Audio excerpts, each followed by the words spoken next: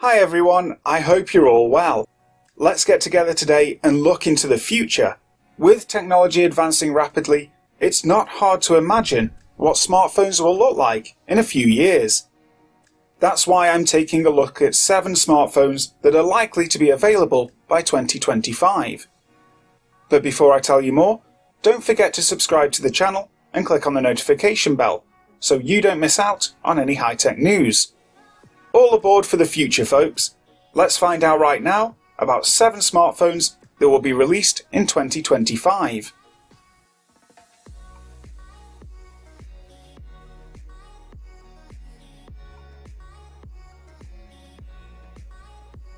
Samsung likes to regularly come up with prototype phones that will see the light of day a few years later. This model could have a 6.8 inch screen with a Super AMOLED panel. Still not very common on smartphones at the moment, this panel offers more realistic colours and exceptional image quality. The edges should disappear completely to make room for curved edges on the top and bottom of the phone. The front sensor should also fit in easily. The internal software will probably have undergone several updates and the interface will be changed. The main menu should be on the left side of the phone and no front lens will be visible. The volume and lock buttons should be much smaller and more discreet. They may even disappear completely. On the back, the four sensors should line up horizontally. This means that the big square block we know today will disappear. The block should also be much thinner and no longer protrude.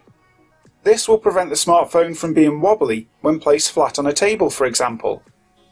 We are talking about a 48 megapixel sensor a 16 megapixel sensor, a 12 megapixel sensor, and a 5 megapixel sensor for colour management.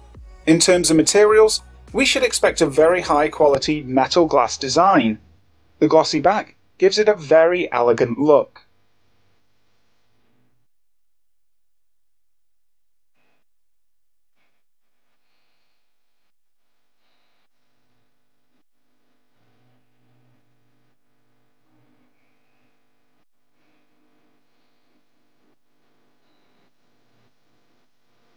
Apple could simply wrap its phone with a screen on both sides. The charging port could also disappear altogether, well before 2025. The interface would, of course, be modernised and could be extremely colourful. The front sensor would disappear under the screen and become invisible. The rear sensors could also be reduced in number. Finally, Apple could also offer a 5000 mAh battery. This would mean that the smartphone would be able to last about three days without needing to be charged, a real record for the brand. However, various prototypes are being worked on at Apple's premises. We could also see a sliding smartphone appearing in the next few years, allowing access to two screens.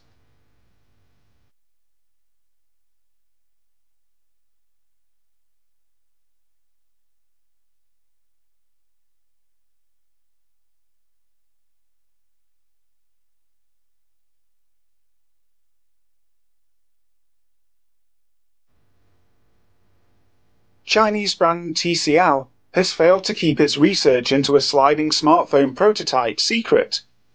Akin to an extending dining table, the smartphone could feature a screen the size of a tablet. To prevent it from being too bulky, the screen would be on rails and could be extended or shortened as needed. The screen would be dazzling and would occupy the entire front panel. The photo sensors would be located on the back of one part of the device Installed vertically, they would not interfere with the opening and closing of the screen. In fact, TCL is expected to launch a smartphone this year that folds out into three parts. The screen is expected to be much larger, reaching the size of a 10 inch tablet.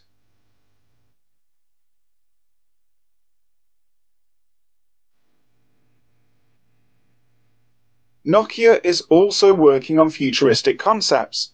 This one would be a little smaller than the smartphones we already know. The bottom of the smartphone would be made of a polished titanium cover to accommodate a very classic keyboard. The majority of this shell would be on the bottom of the phone and would end up on the right side of the device. The rest would be a single coloured panel to display the smartphone's interface. Scheduled for 2025, this smartphone has all the assets of the future. At present, the Korean brand is talking about a smartphone equipped with a 6.5 inch Quad HD Super AMOLED screen. With this ideal size, it will be able to pass in all pockets without problem. The Galaxy Zero is expected to feature an infinity screen, which will cover 100% of the front panel. The rear of the smartphone will have a solid coating to accommodate the camera block. To protect the screen from various shocks and potential scratches, a protection called Gorilla Glass 6 should be installed on the front and back of the device. According to several sources, the Galaxy Zero could be the first ever smartphone to feature a buttonless and portless design. The Galaxy Zero is also expected to feature a Snapdragon or Exynos 9830 processor, which could be paired with 10 or 12 gigabytes of RAM. Capable of storing 1 terabyte, it would become one of the very first smartphones with such a large storage capacity. Of course, it will be able to be charged via a fast charge via a base. With 4,500 mAh, the autonomy should be around 2.5 days. On the photo side, the smartphone would come with four sensors, including a 52 megapixel main sensor, a 16 megapixel ultra wide angle sensor, an 8 megapixel RGB sensor, and a 5 megapixel telephoto sensor. The front sensor is expected to be 23 megapixels. With an uninterrupted design, Samsung could once again be the pioneer in innovation. It could be dressed up with metallic glass and rounded edges.